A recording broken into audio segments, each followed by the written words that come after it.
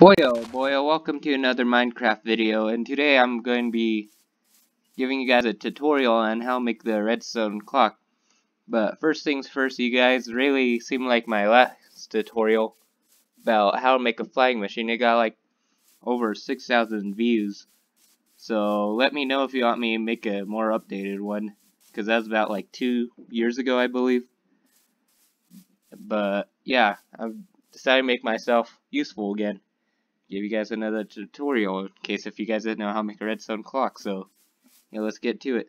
So, what you're going to need is some redstone, a redstone torch, and redstone repeater.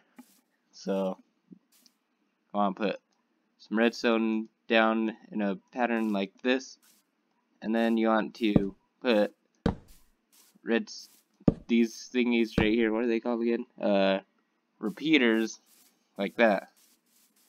Then, here's the important part though. You have to put the torch down and then break it really fast, so like this.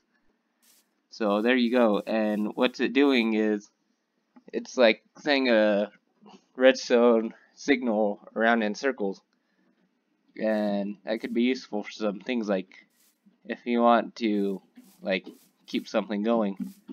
See this dispenser? You can make a trap out of it by putting arrows inside of it then yeah, like that. So you want to make a trap or control your friends like this, you can do that. You also just like make like flickering lights, but first you want to like break the signal before you do that and then adjust it. So just slow this down like that and then put back on the signal like so and then you could make the light go as fast as you want it. Anyways, hopefully you guys found this useful and really like this video. And don't forget live on, dudes.